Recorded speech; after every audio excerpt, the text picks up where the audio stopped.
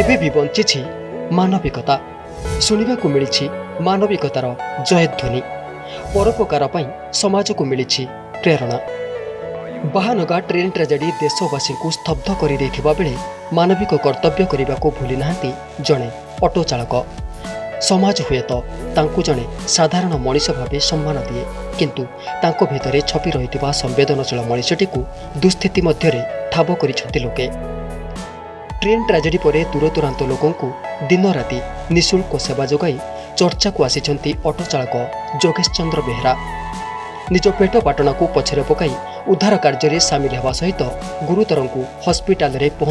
जोगेश दुई दुईदिन धरि विना मूल्य गुरुतरू स्थानान्तरे नियोजित गरिपरिक सोर पौरपालिका क्षीरपोणी बासिन्दा जगेश चन्द्र दुईदिन जाए निज घरको न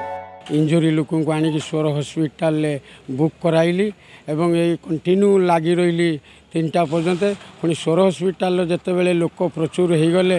ସେ ଲୋକ ପୁଣି ଡିସଚାର୍ଜ ହେଲେ ଟାଉନ୍ ହଲ୍କୁ ଟାଉନ୍ ହଲ୍ରୁ ପୁଣି ଡିସଚାର୍ଜ ବ୍ଲକ୍ ହେଲେ ଅଦ୍ୟାବଧି ମୁଁ ଫ୍ରି ସେବାରେ ଜାରି ରହିଛି ଲୋକଙ୍କୁ ସେବା କରୁଛି ଟଙ୍କାଟିଏ ତିନି ଦିନ ହେଲା ଘରକୁ ନେଇନାହିଁ ଲୋକଙ୍କୁ ସେତେବେଳେ ଗୁଡ଼ ଟ୍ରିଟମେଣ୍ଟ ଥିଲା ସେତେବେଳେ ପଇସାକୁ ମୁଁ ନଜର କରିନଥିଲି କି ଦେଖିନଥିଲି